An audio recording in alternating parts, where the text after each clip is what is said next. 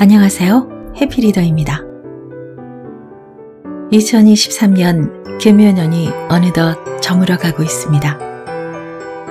올 한 해도 늘 함께 해주고 응원해 주셔서 감사의 마음을 전합니다. 행복하고 편안한 연말 보내시길 바랍니다. 오늘 소개할 작품은 데무노 툴스토이의 후기 작품으로 그의 인생관과 가치관을 엿볼 수 있는 작품인데요. 불을 함부로 다루면 끄지 못하게 된다입니다. 도서출판 암북에서 발행되었습니다. 이웃과의 극한의 갈등을 통해 작은 싸움이 어디까지 증폭될 수 있는지, 또한 놓쳐버린 화해의 순간이 어떤 결과를 맞이하는지 현실감 있게 그린 작품입니다. 이전에 소개한 톨스토이의 초기 작품 가정의 행복과 비교해서 감상하는 재미 또한 특별할 것으로 기대합니다. 그럼 이웃과의 갈등의 과정을 보여주는 불을 함부로 다루면 끄지 못하게 된다. 그 이야기 속으로 함께 들어가 보겠습니다.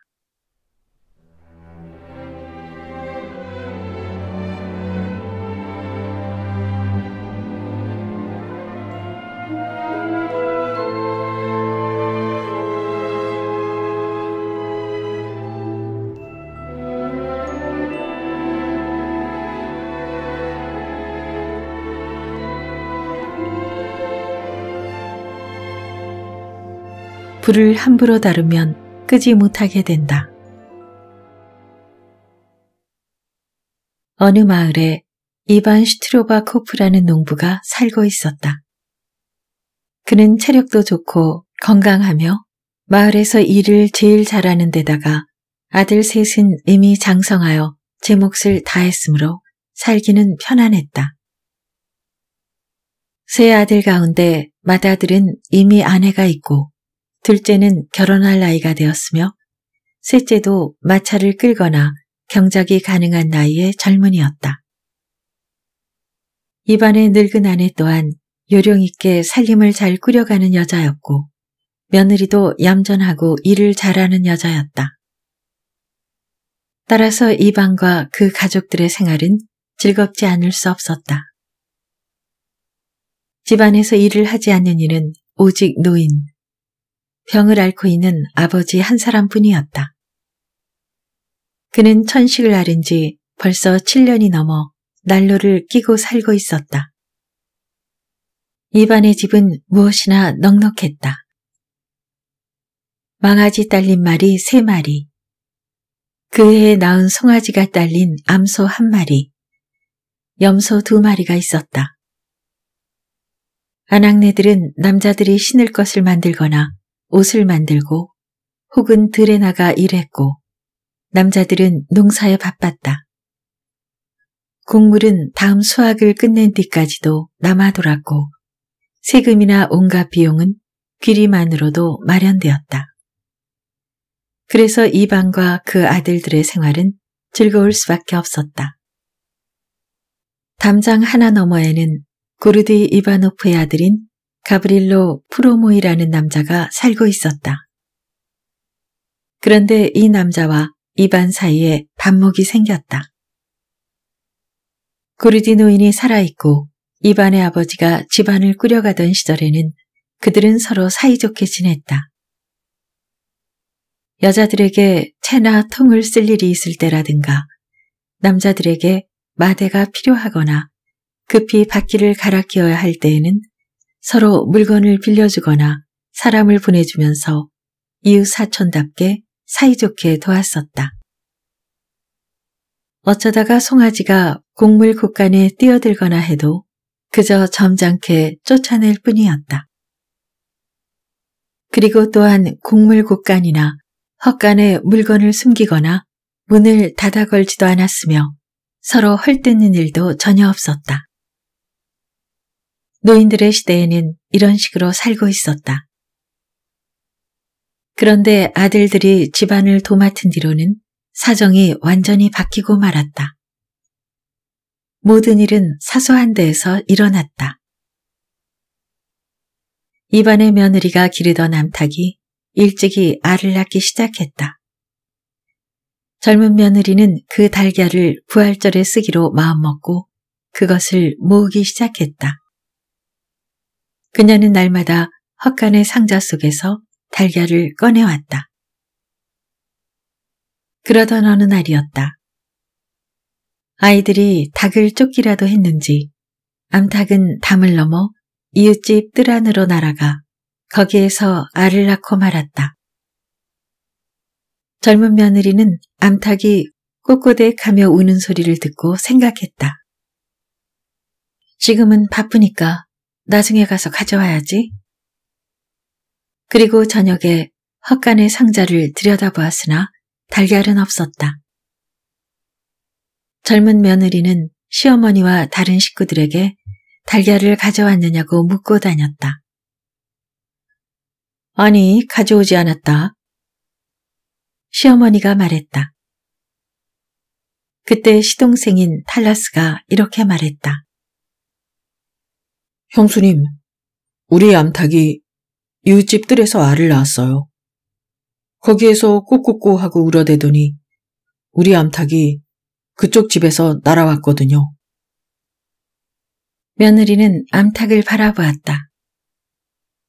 암탉은 수탉과 함께 닭장 위에 앉아 벌써 눈을 감고 자려 하고 있었다. 어디에서 알을 낳았느냐고 물어본다고 대답을 들을 수 있을 리도 없었다. 며느리는 곧장 이웃집으로 찾아갔다.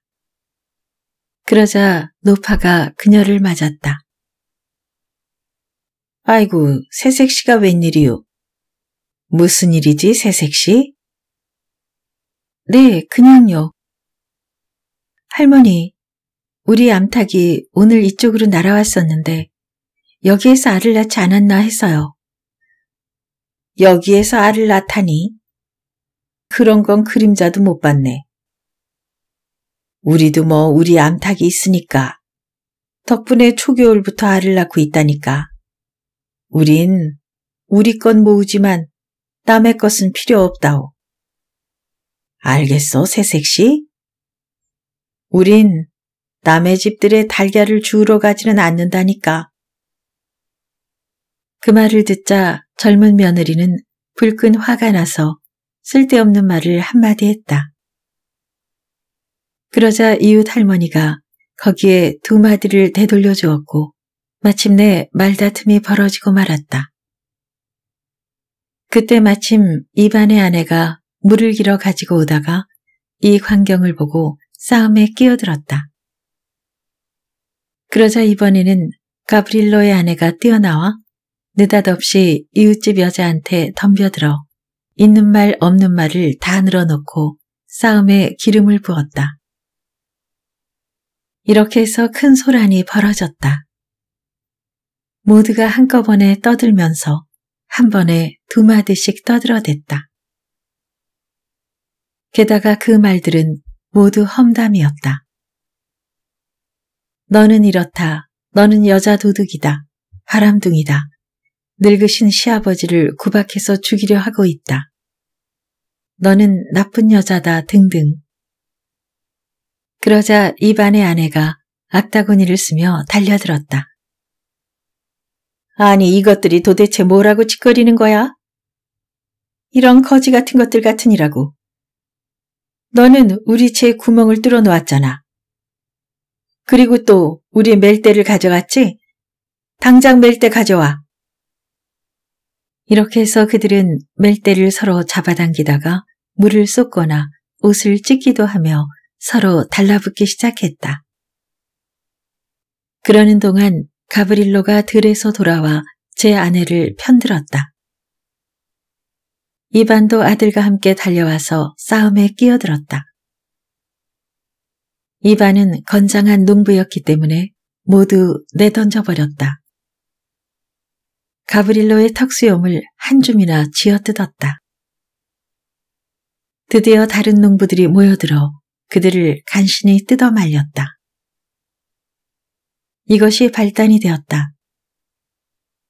가브릴로는 쥐어뜯긴 턱수염을 휴지에 싸서 읍내 재판소에 고소했다. 나는 그 죽은 깨 녀석한테 뽑히려고 이 수염을 기른 게 아닙니다. 또한 가브릴로의 아내는 근처 이웃 사람들을 보고 당장 이반을 시베리아에 보내 호된 벌을 받게 만들겠다고 떠벌렸다. 이렇게 해서 싸움은 차츰 거세어졌다. 처음 싸움을 시작한 날부터 노인은 난로 옆에서 그들을 설득했으나 젊은이들은 노인의 말을 듣지 않았다. 노인은 그들에게 말했다. 얘들아, 너희들이 하는 짓들은 헛된 짓이다. 하찮은 일에서 큰일이 벌어지게 되어 있어. 생각해 보려무나. 이번 일은 모두 달걀 하나에서 비롯된 게 아니냐. 그 달걀은 애들이 주었을 수도 있겠지. 아무튼 아무것도 아닌 일이다. 달걀 하나가 아무리 값어치가 있어도 말이다. 만일 상대방이 좋지 않은 말을 하면 너는 그것을 바로 잡아 주는 게 도리야. 좀 더 좋은 말을 하도록 가르쳐 주어야 하는 거지. 그런 걸 마구 맞붙어 싸움질이나 하다니. 죄만 커진다. 하지만 이제 어쩌겠니? 일이 이렇게 되었으니 서로 화해를 하고 결말을 내거라. 언제까지고 서로 화만 내다간 점점 더 나빠질 뿐이야. 하지만 젊은이들은 노인의 말을 한기로 흘려버렸다. 그들은 이런 일에 노인은 아무런 쓸모도 없는 말이나 하고 있으며 그저 나이가 들어 잔소리하는 것에 지나지 않는다라고 생각했다. 이반은 이웃 사람에게 지고 싶지 않았다. 나는 저 녀석의 수염 따윈 뽑지 않았다. 저 녀석이 제 수염을 뽑은 거야. 오히려 저 녀석 아들놈이 내 머리칼을 쥐어뜯고 셔츠까지 갈기갈기 찢어버렸다고. 이것 보라고. 그렇게 해서 이반도 고소를 했다. 그들은 중재재판과 군재판에서 싸웠다. 재판이 한창 벌어지고 있는 동안에 가브릴론의 집마차에 굴대가 보이지 않았다. 가브릴로의 집안의 여자들은 굴대가 없어진 것을 이반의 아들에게 뒤집어 씌웠다. 이것 보라고.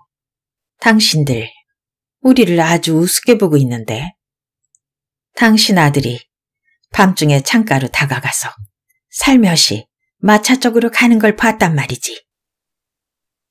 그뿐인 줄 알아? 이건 이웃집 아주머니가 본 건데 당신 아들이 말이야 술집에 가서 우리 굴대를 억지로 팔아치웠다고 하더군. 그래서 또 재판이 시작되었다. 집안은 집안대로 날마다 말다툼을 하거나 싸움질을 했다. 어린아이들까지도 어린 흉내를 내어 말다툼을 하고 여자들은 냇물에서 서로를 빠뜨리더니 빨래 방망이를 두들기기보다는 혀를 더 많이 놀려대어 나쁜 감정만 자꾸 쌓여갔다. 농부들은 처음에 서로 험담만 주고받다가 이윽고 결말이 좋지 않을 경우에는 곧장 고소를 제기했다. 여자들이나 아이들도 똑같이 거기에 익숙해졌다. 이렇게 되자 그들의 생활은 점점 더 엉망이 되어갔다. 이반 스트로바코프와 가브릴로 프로모이는 마을 모임에서나 군 재판소에서도 또 중재 재판에서도 싸움을 계속했기 때문에 어느 재판관이나 몹시 지겨워했다. 가브릴로가 이반을 감옥에 집어넣거나 벌금을 물게 만들면 다음에는 이반이 가브릴로를 같은 꼴로 만들었다. 이렇게 서로 상처를 주면 줄수록 더욱더 나쁜 감정만 쌓일 뿐이었다. 개가 싸움을 할 때 서로 물면 물수록 그들은 더욱 광폭해진다. 또한 개를 뒤에서 때리면 그는 상대가 문 것으로 짐작하고 한층 더 맹렬히 화를 낸다. 이방과 가브릴로 이 두 농부가 그러했다.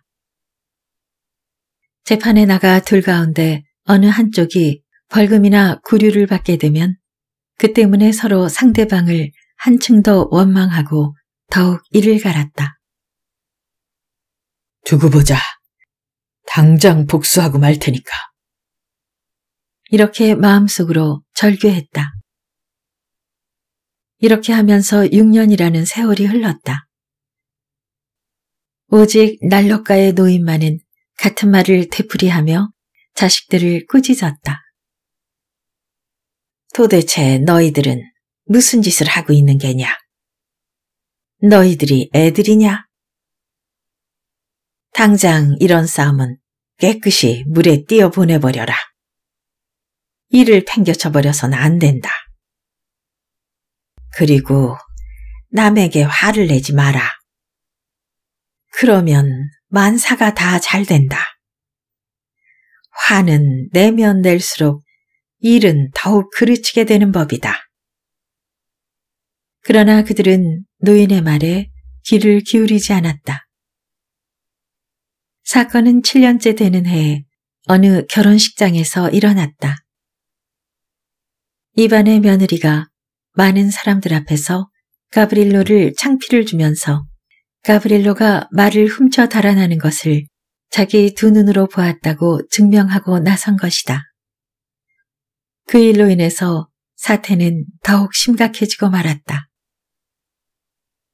가브릴로는 취해 있던 터라 분을 사귀지 못하고 이반의 며느리를 때렸다. 그리하여 이반의 며느리는 일주일 동안이나 누워 지내지 않으면 안 될 처지가 되었다. 그런데 이반의 며느리는 그때 임신 중이었다. 이반은 재빨리 소장을 만들어 예심 판사에게 달려갔다. 이번에야말로 꼭 이웃집 녀석을 해치우고 말겠다. 그 녀석 감옥행이나 시베리아 행을 피하지 못할 걸. 그는 그렇게 생각했다. 그러나 또다시 이반의 소송은 성공하지 못했다. 예심 판사는 소장을 접수하지 않았다. 이반의 며느리를 조사해 본 결과 그녀는 이미 일어나 있고 아무런 흔적도 없었기 때문이다. 그래서 이반은 중재재판소로 갔다. 그러자 거기서는 사건을 군 재판소로 넘겼다. 이반은 동분서주하며 서기와 동직원들에게 술을 반 통이나 먹이고 가브릴로를 태형에 처하도록 뒤에서 부추겼다. 이렇게 해서 가브릴로에 대한 판결문이 낭독되었다. 서기가 판결문을 읽었다. 법정은 농부 가브릴로 프로모이를 그 군의 경찰서에서 태형 20대에 처할 것을 결정한다. 이반은 그 판결을 들으면서 내심 통쾌감을 느끼며 가브릴로 쪽을 힐끗 쳐다보았다. 가브릴로는 그 판결 내용을 듣더니 얼굴이 천조각처럼 새파랗게 되더니 몸을 획 돌려 현관으로 나갔다. 이반도 그 뒤를 따라 나가 말이 있는 대로 가다가 문득 가브릴로가 이렇게 말하는 소리를 들었다. 좋다. 내 녀석이 내 등을 치고 싶어 한다면 내 등은 타겠지만 내 녀석 쪽도 더 심하게 타지 않도록 정신 차리는 게 좋을 거다. 이 말을 듣고 이반은 당장 판사들에게 달려갔다. 정당하신 재판관님, 저놈이 저를 불태우겠다고 협박했습니다. 여기엔 증인이 엄연히 있으니 들어주십시오. 재판관은 가브릴로를 불러들였다. 정말 그렇게 말했나요? 재판관님, 저는 아무 말도 하지 않았습니다. 당신들한테 권리가 있으면 때리면 됩니다. 무슨 이유 때문인지는 모르지만 저는 옳은데도 저 혼자만 당하고 이자는 무슨 짓을 해도 괜찮은 것처럼 보입니다. 가브릴로는 무슨 말인지 더 하려고 했으나 그의 입술과 볼이 바르르 떨렸다. 그래서 그는 벽 쪽으로 획 돌아서고 말았다. 이러한 가브릴로의 모습을 보고 가장 나이가 많은 재판관이 이렇게 말했다. 가브릴로에게서 뜨거운 분노가 느껴졌던 것이다. 자네들 어떤가? 지금이라도 서로 화해하는 게 좋지 않겠나? 가브릴로, 자네가 한 짓이 잘했다고 생각하나? 임신 중인 여자를 때린 짓이 잘한 일이냐 말이지.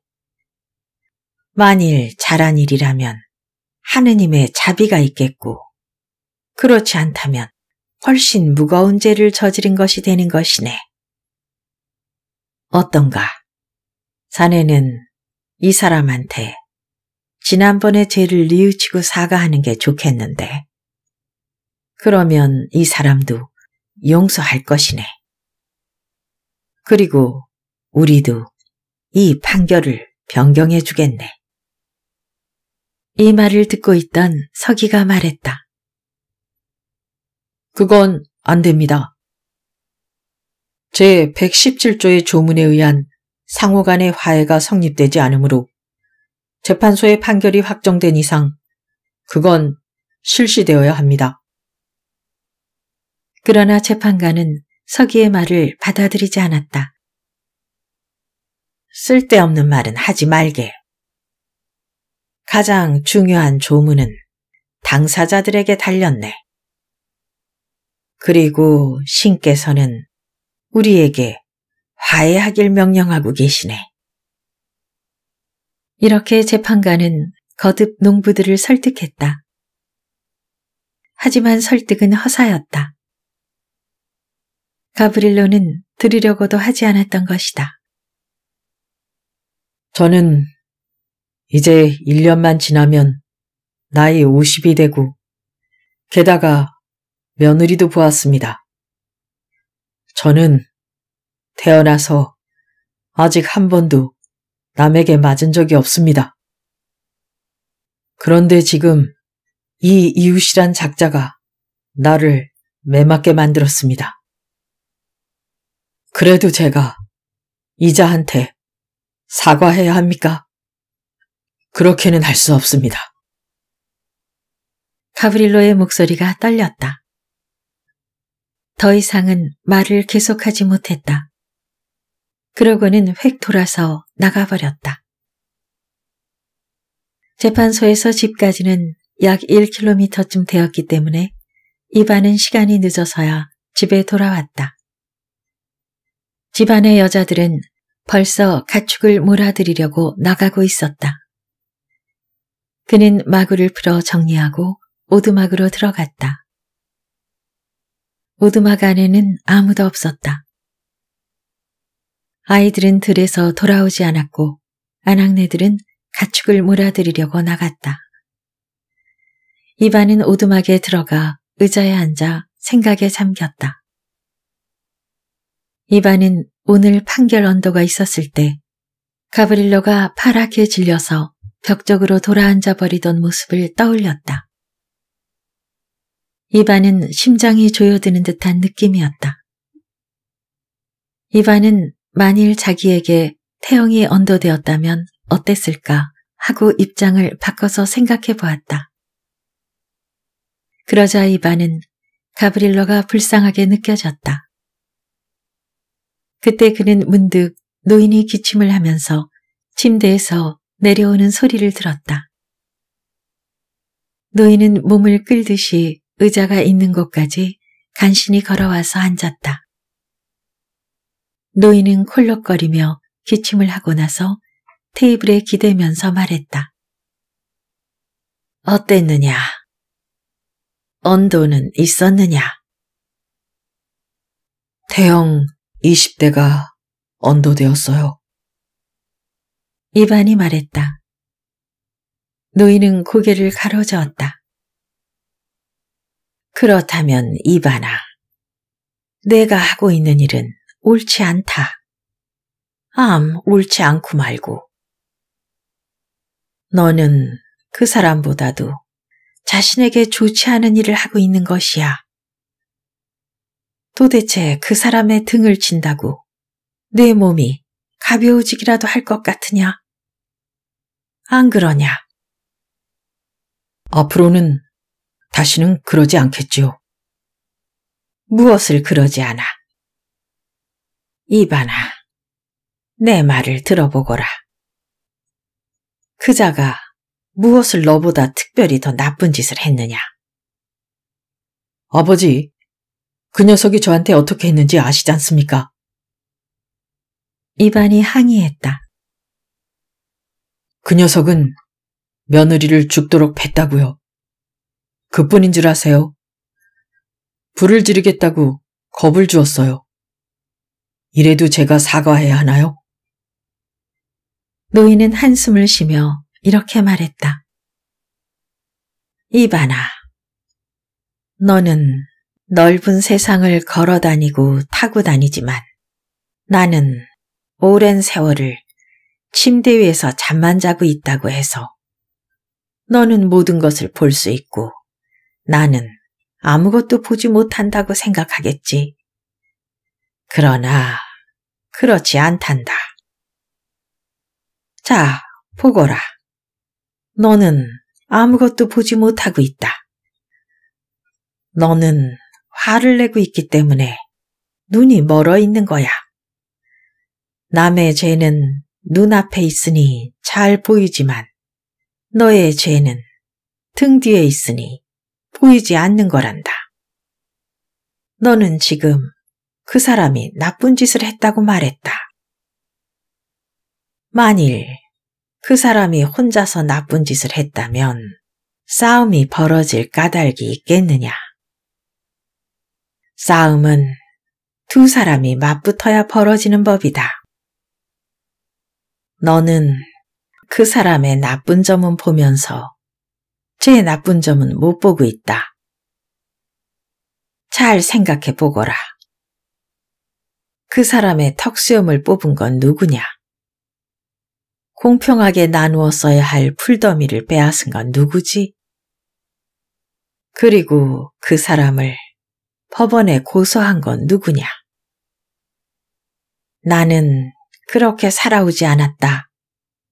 그리고 너희들한테도 그렇게 가르치지 않았다. 나와 할아버지, 그 사람의 아버지와는 어떻게 살아왔다고 생각하느냐?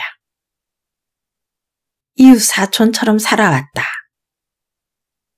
그 사람 쪽에 밀가루가 떨어지면 부인이 찾아와서 밀가루가 좀 있어야겠는데요. 이렇게 말했단다. 그러면, 아, 그래요. 어서 헛간에 가서 필요한 만큼 가져가세요. 이렇게 했단다. 또 이웃에 말을 끌 사람이 없을 때는 가서 말 좀 끌어주게 자네한테 부탁하라고 하더군. 그 대신에 우리 쪽에서 모자라는 게 있으면 곧 이웃에 달려갔었지. 이런저런 게 필요한데 하면서 말이야. 그러면 그쪽에서도 자, 어서 가져가세요. 이렇게 말했단다. 우리는 이런 식으로 살아왔다. 그래서 서로가 지내기가 편했다. 이바나, 너는 농부이며 일가의 가장이다. 너에게는 책임이라는 것이 있지. 너는 도대체 아이들한테 무엇을 가르치고 있느냐? 개처럼 싸움질하는 일이냐? 요즘에는 타라스카가 그 코흘리개가 말이다. 제 엄마 흉내를 내면서 욕을 하는데 제 엄마는 그 모습을 보고 웃고 있더구나. 도대체 이게 될 말이냐? 모두 다 너의 책임이 아니고 무엇이냐? 왜 잠자코 있느냐? 내 말이 틀려서 그러느냐? 노인은 여기에서 기침을 하고 나서 다시 말을 이었다. 얘야, 생각해 보려무나. 이 싸움이 일어나고 나서 너한테 좋은 일이 늘었는지 나쁜 일이 늘었는지 먼저 따져보거라. 재판 소동에 돈을 얼마나 썼는지, 그리고 또 그동안에 마차 삭시나 다른 일에 비용이 얼마나 들었는지. 너는 독수리 같은 아들이 모두 장성했으니 살림도 차츰 편해지고 재산도 늘어갈 터인데 지금은 도리어 줄어들고 있지 않느냐? 무엇 때문이겠느냐? 모든 것이 싸움 때문이다.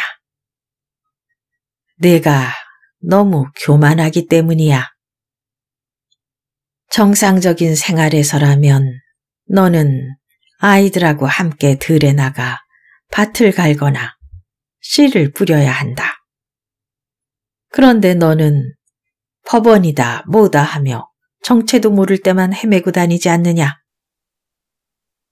때를 놓치고 뒤늦게 밭을 갈거나 씨를 뿌려서는 땅의 어머니도 무엇 하나 생산해내지 못하는 거다.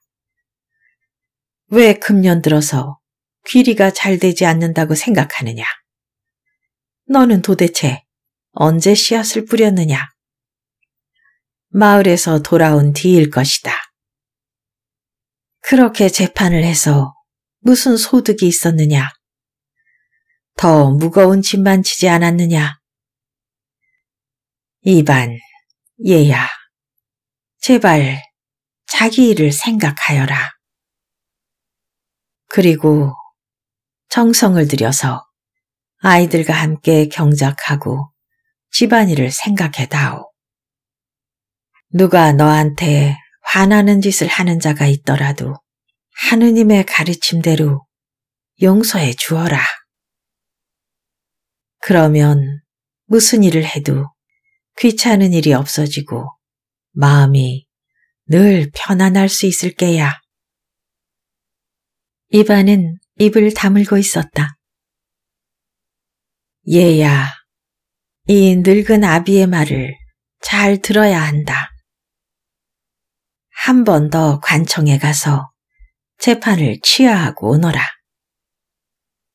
그리고 내일 아침 가브릴로한테 가서 화해하고 그 사람을 집으로 초대하거라. 마침 내일이 축일이니까 사모하루를 끓이고 술잔이라도 돌리면서 이제까지 응어리진 걸 풀고 앞으로 두 번 다시 대풀이에서 싸우는 일이 없도록 해라. 그리고 여인네들이나 아이들한테도 꼭 그렇게 하도록 일러두어야 한다. 이반은 아버지 말씀이 옳다고 한숨을 쉬며 생각했다. 그러자 화났던 일이 깨끗이 사라져 버렸다. 다만 그 일을 어떻게 하면 될지, 어떻게 화해하면 될지 어림할 수가 없었다. 그러자 노인은 그의 마음을 꿰뚫어 보듯이 다시 이렇게 덧붙였다. 얘야, 이반. 내가 찾아가거라. 늦어선 안 된다. 불은 처음에 꺼야 한다. 타올라 버리면 손을 쓸 수가 없게 되는 법이다. 노인은 아직도 할 말이 더 있는 듯 했으나 말을 끝맺지 못했다. 여인네들이 오두막에 들어와 까치처럼 제잘거리기 시작했기 때문이다. 가브릴로에게 태영이 언도된 일부터 그가 불을 내겠다면서 겁을 준 일까지 모든 소식은 벌써 여자들에게도 들어가 있었다. 여인들은 들은 말에다가 다시 자기들의 짐작까지 덧붙여서 벌써 목장에서 가브릴론의 집 여자들과 말다툼을 하고 온 것이었다. 여인네들은 가브릴론의 며느리가 예심 판사의 일로 자기들을 겁주었다는 말까지 하기 시작했다. 며느리는 말하기를 예심 판사는 가브릴로 편이라고 했다. 예심 판사는 당장 사건을 뿌리째 뒤엎어 버릴 것이고 학교 선생도 이반의 일을 황제 폐하에게 직소하는 탄원서를 썼는데 그 탄원서에는 처음의 일부터 그대로 적혀 있다고 했다. 즉 수레의 굴대에서부터 야채바딜까지 적어 놓았기 때문에 이반의 땅은 당장 그들에게 절반쯤 빼앗겨 버릴 것이라고 했다. 이런 이야기를 듣고 난 이반의 마음은 다시 돌처럼 굳어지고 가브릴러와의 화해 따위는 있을 수 없는 일이라고 마음을 고쳐먹었다. 집안의 가장에게는 늘 박한 일이 많다. 이반은 더 이상 여인네들과 이야기하려고 하지 않고 일어서더니 오두막을 나가 곡물 창고와 헛간 쪽을 향해 갔다. 그리고 정리를 하고 집 쪽으로 되돌아왔을 때에는 이미 해가 져서 아들들도 들에서 돌아왔다. 그들은 겨울을 앞두고 봄 씨앗을 뿌리기 위해 밭을 갈고 있었다. 이반은 그들에게 일에 대해 몇 가지를 묻고 정리를 도와주기도 했다. 그러고는 부서진 말 굴대를 수선하기 위해 옆에 놓은 다음에 통나무를 헛간 아래에 치우려고 했으나 그 무렵에는 벌써 해가 다 져 있었다. 그래서 이반은 통나무를 내일까지 그대로 놓아두기로 하고 가축들에게 사료를 던져준 후 문을 열고 야경을 하러 가는 타라스카를 말과 함께 내보내고 나서 다시 문을 닫고 밑에 판자를 끼워 넣었다. 자, 이제 저녁을 먹고 자는 일만 남았군. 이반은 생각했다. 그리고 부서진 말 굴대를 들고 집 쪽으로 걸어가기 시작했다.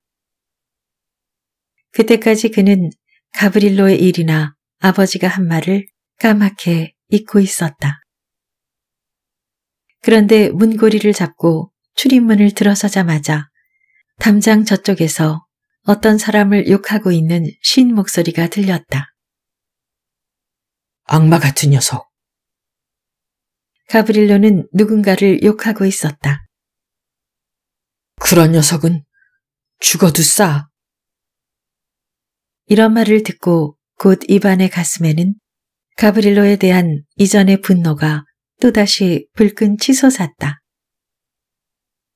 그는 잠시 그 자리에 우뚝 서서 가브릴로가 아우성치는 소리를 그냥 듣고 있었다. 가브릴로가 조용해지자 이반은 집 안으로 들어갔다. 집 안에는 벌써 불이 켜져 있었다. 젊은 며느리는 한쪽 구석에 물레 앞에 앉아 있고 아내는 저녁 식사 준비를 하고 있었다. 큰아들은 나무 껍질로 만든 신발을 고치고 있고 둘째 아들은 책을 들고 테이블 앞에 앉았으며 타라스카는 말에게 저녁 먹이를 주러 갈 채비를 하고 있었다. 집안은 모든 것이 나무랄 데 없이 즐거웠다. 만일 그 귀찮은 존재, 안 입고 온 이웃집 녀석만 없다면 말이다. 이반은 화가 잔뜩 나서 들어오더니 의자에 앉아있는 고양이를 내던지고 대화를 아무데나 놓아두었다면서 여자들을 나무랐다. 그러나 이반은 몹시 우울했다. 그는 얼굴을 찌푸린 채 말 굴대를 고치려고 했으나 가브릴로의 말이 아무래도 머리에서 떠나지 않았다. 그가 법정에서 위협하는 말을 늘어놓은 일이나 이제 막 쉰 목소리로 누군가를 죽이겠다고 아우성 치던 일 따위가 떠올라서 견딜 수가 없었다. 아내가 저녁을 차려주자 그는 그것을 먹고 작은 모피 외투 위에 긴 옷을 겹쳐 입고 띠를 메고 나서 빵을 들고 말이 있는 길 쪽으로 나갔다. 문 밖은 이제 완전히 해가 저물어 캄캄해졌는데 온통 구름이 끼고 바람이 일었다. 이반은 층계를 내려가 막내 아들을 말에 태워주고 그 위에서 망아지를 꾸짖어 쫓았다. 그는 그러고 나서도 여전히 잠시 선 채로 타라스카가 마을의 아래쪽으로 멀어져 가다가 다른 아이들과 만나 함께 어울리는 소리가 멀리 들리지 않을 때까지 눈과 귀를 기울이고 있었다. 이반은 언제까지고 언제까지고 문 가까이에 서 있었다. 그의 머리에서는 아무리 해도 가브릴로가 한 말, 내 쪽이나 더 타지 않게 정신 차려야 될 거다. 라는 말이 떠나지 않았다. 그 녀석은 제 몸도 아낄 줄 모르는 게 틀림없다. 이반은 이렇게 생각했다. 가뭄이 계속된 끝에 부는 바람이야. 이럴 때 뒷문으로 살짝 들어와서 불이라도 지르고 도망쳐버린다면 그 악당은 불을 지르고서도 바람의 탓을 하고 죄를 감당하지 않아도 된다. 하지만 만일 현장에서 갑자기 덮쳐버리기만 한다면 설마 도망치지는 못할 거야. 그러는 동안 이런 생각이 이반의 머릿속에 꽉 차버렸다. 그는 출입문의 층계를 오르지 않고 그 길로 곧장 문을 지나 길로 나가서 모퉁이를 돌아갔다. 그래, 뒤로 한 바퀴 돌아보자. 그 녀석이 무슨 짓을 할지 모른다. 이렇게 해서 이반은 발소리를 죽이고 문에 바짝 붙이고 나아갔다. 그리고 한 모퉁이를 돌아 담장을 따라서 쭉 둘러보는데 저쪽 모퉁이에서 무엇이 움직이는 것 같았다. 게다가 펄쩍 뛰어나가더니 금세 또 모퉁이로 숨어드는 듯한 느낌이었다. 이반은 멈춰서서 숨을 죽였다. 길을 세우고 눈을 크게 떴다. 주변은 지죽은 듯이 조용하고 그저 밤바람만이 버들잎을 흔들어 놓고 짚을 흔들어 놓고 있을 뿐이었다. 처음에는 눈을 찔러도 모를 만큼 어두웠으나 어둠에 익숙해지자 입안은 그 부근의 모퉁이와 기둥과 차양이 눈에 들어왔다. 그는 서서 잠시 살펴보았으나 인기척은 없었다. 틀림없이 뭔가 스쳐 지나갔는데 어쨌든 한 바퀴 돌아보자. 그러고는 발소리를 죽이고 헛간에 달라붙어서 앞으로 나아갔다. 이반은 나무 껍질 신발을 신고 살며시 다가갔기 때문에 제 발소리마저 들리지 않을 정도였다. 모퉁이까지 가서 얼핏 보자 저쪽 끝에 기둥 그늘에서 무엇인지 반짝하고 빛나더니 곧 꺼졌다. 이반은 가슴을 조이며 멈춰섰다. 그러자 또 아까 그 장소가 이번에는 전보다도 더 밝아지고 거기에 모자를 쓴 한 사나이가 그의 쪽으로 등을 돌려 웅크린 채 손에 짚을 들고 불을 붙이고 있는 모습이 역력히 보였다. 이반의 심장은 작은 새처럼 펄떡펄떡 뛰기 시작했다. 그는 온몸을 바짝 긴장시키고 큰 걸음으로 잽싸게 걷기 시작했다. 그는 제 발소리도 듣지 못했다. 좋다.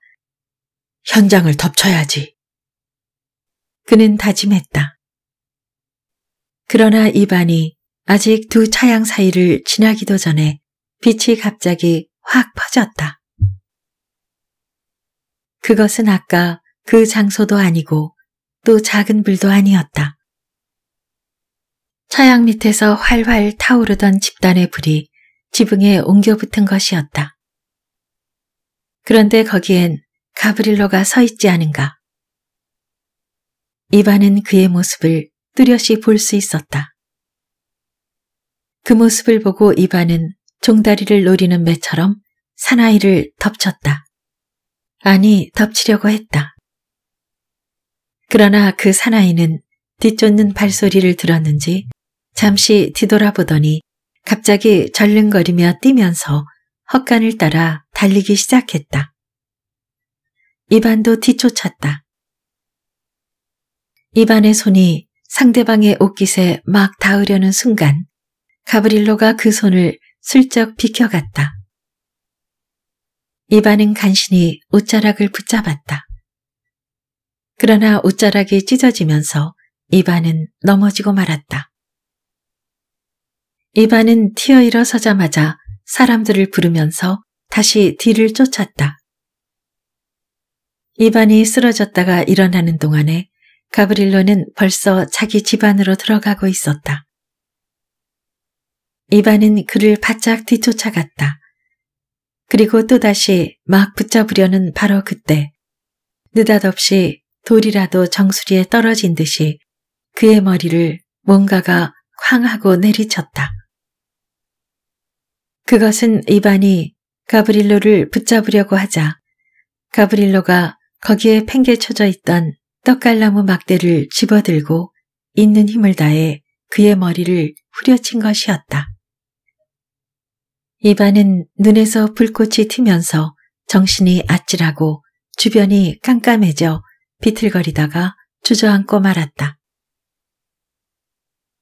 그가 정신이 돌아왔을 때는 이미 가브릴로의 모습은 보이지 않고 주변이 대나처럼 밝고 자기 집 쪽에서 무슨 기계라도 돌리는지 윙윙거리는 소리와 탁탁 튀는 소리가 들려왔다. 이반이 뒤돌아보니 집 뒤 헛간은 불길이 번져 타오르고 있었고 옆에 헛간에도 불이 옮겨붙어 불길이 치솟아 올랐으며 타오르는 집에서는 연기와 함께 불티가 집 쪽으로 거세게 날아가고 있었다. 아니 이게 도대체 어찌 된 거야? 다들 어디 갔지? 이반은 이렇게 외치면서 두 손을 들어 올렸다가는 다시 자기 허벅지를 두들기며 말했다. 아니 이건 차양에서 타오르는 걸 끌어내려 발바꾸기만 했어도 되었는데. 아 이게 도대체 어떻게 된 거야? 이반은 그 소리를 되풀이했다. 큰 소리를 지르려고 했으나 숨이 찼다. 소리가 나오지 않았다. 달리려고 해도 두 다리가 서로 뒤엉켜서 도저히 앞으로 나아가지 않았다. 걸음도 비틀거렸고 또다시 숨이 찼다. 그래서 그때마다 잠시 멈춰서서 쉬고는 다시 걸어야 했다. 입안이 헛간을 돌아 불길이 솟는 곳까지 다다르는 사이에 옆 헛간으로 불길이 확 퍼졌다. 이제 불은 안채 한 기퉁이와 문에 옮겨붙어 집안에서는 불길이 치솟고 있었고 뜰에는 걸어갈 틈도 없어 보였다. 많은 사람들이 모여들기는 했으나 어떻게 손쓸 길이 없었다. 이웃집 사람들은 가재도구를 드러내고 자기들의 가축을 뜰에서 몰아내고 있었다. 이번에 집을 불태워버린 불길은 가브릴론의 집으로 옮겨 붙고 바람이 일자 길 건너편까지 불똥이 날아갔다. 그리하여 동네는 거의 절반이 알거지가 되었다. 이반의 집은 노인만 끌어냈을 뿐 다른 식구들은 가까스로 입은 옷만 걸친 채 뛰어나오는 통에 가재 도구는 하나도 건지지 못하고 말았다. 야경을 돌려고 나갔던 말만이 살아남았을 뿐 가축들도 모두 타 죽었고 닭은 닭장에 앉은 채 불탔다. 짐차, 쟁기, 썰애뿐 아니라 여인네의 옷상자도 곡물 상자에 담긴 곡식도 모든 것이 깨끗이 불타버렸다. 가브릴론의 집은 가축도 몰아냈고 살림도 조금은 드러냈다. 불은 밤새도록 계속 타올랐다. 이반은 자기네 집 곁에 서서 그 광경을 보면서 똑같은 말만 되풀이하고 있었다. 이게 도대체 웬일이냐? 재빨리 끌어내려서 발 바꿨으면 되었을걸. 하지만 안채의 지붕이 타서 무너질 때 그는 불길 한가운데로 뛰어들어 불타는 대들보를 붙들고 그것을 끌어내려고 했다. 여자들이 그런 입안을 발견하고 불러내려고 했으나 그는 대들보 하나를 끌어내더니 또 다른 들보 쪽으로 달려가다가 주저앉아 그대로 불 위에 쓰러졌다.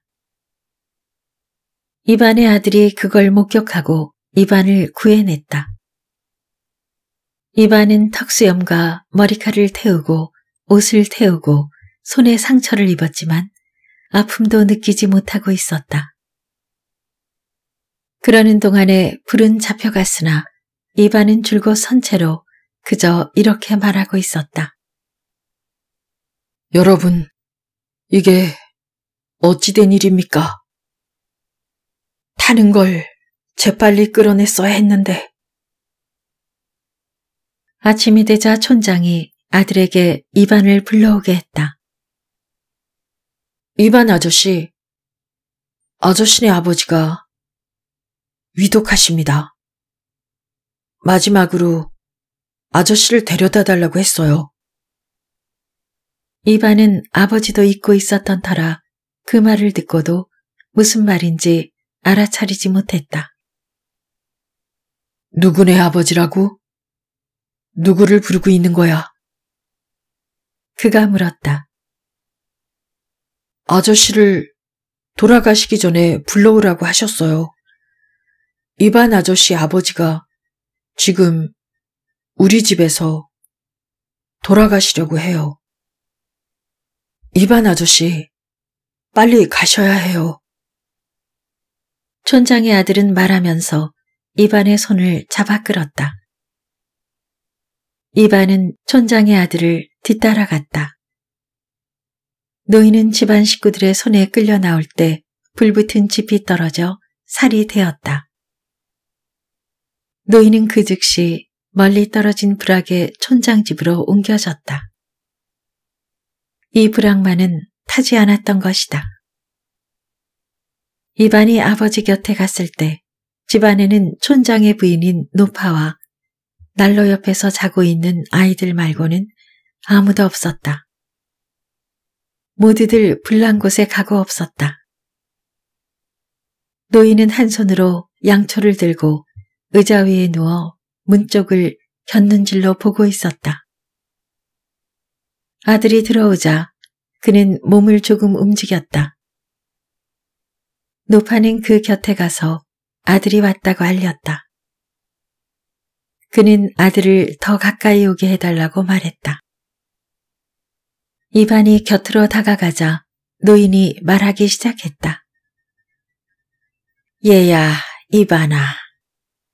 내가 너한테 뭐라고 했느냐? 동네를 태워버린 게 누구냐? 그 녀석이에요, 아버지. 그 녀석요. 저는 그 녀석을 보았어요. 제 눈앞에서 그 녀석은 불을 처마 밑에 밀어 넣었어요. 제가 그 불붙은 집단을 끌어내어 밟아끄기만 했어도 아무 일이 없었을 텐데. 그러자 노인이 말했다. 얘야, 내 아들 이바나. 나는 이제 죽을 때가 왔다. 너도 언젠가는 죽을 몸이다. 그러니 이게 대체 누구의 죄지? 이반은 아버지 얼굴에 시선을 둔 채 말이 없었다. 한마디도 할 수가 없었던 것이다. 하느님 앞에서 말하는 게 좋겠다. 누구의 죄지? 내가 너한테 뭐라고 했느냐? 이 말을 듣고 이반은 비로소 정신이 번쩍 들었다. 모든 것을 이해했다. 이반은 코를 훌쩍이며 말했다. 저의 죄입니다, 아버지. 그리고 아버지 앞에 무릎을 꿇고 울면서 말했다. 아버지, 용서해 주십시오. 저는 아버님께도 하느님께도 죄를 지었습니다. 노인은 두 손을 들어 양초를 왼손으로 바꿔들고 오른손을 이마에 가져가서 십자를 그으려고 했다.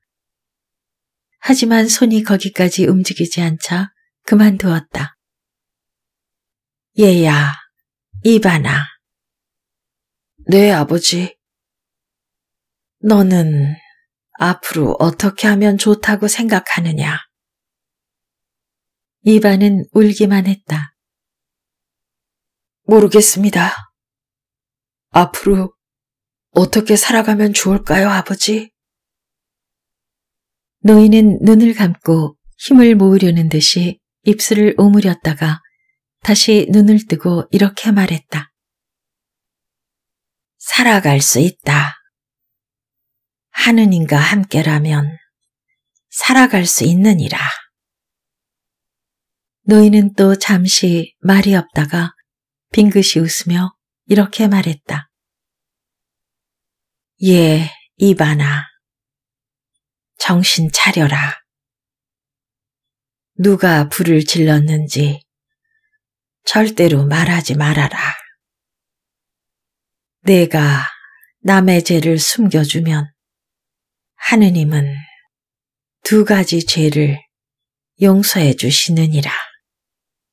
이렇게 말하고 노인은 한 자루의 양초를 두 손으로 들고 두 손을 가슴에 얹고 한숨을 쉬면서 몸을 쭉 뻗더니 그대로 숨을 거두었다.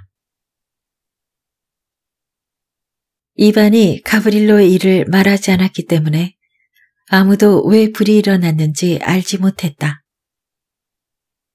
이반도 가브릴로를 원망하는 마음이 사라져 버렸다. 가브릴로는 이반이 자기에 대해 아무에게도 말하지 않은 것에 무척 놀랐다. 처음에 가브릴로는 그를 두려워하고 있었으나 그러는 동안에 친숙해졌다.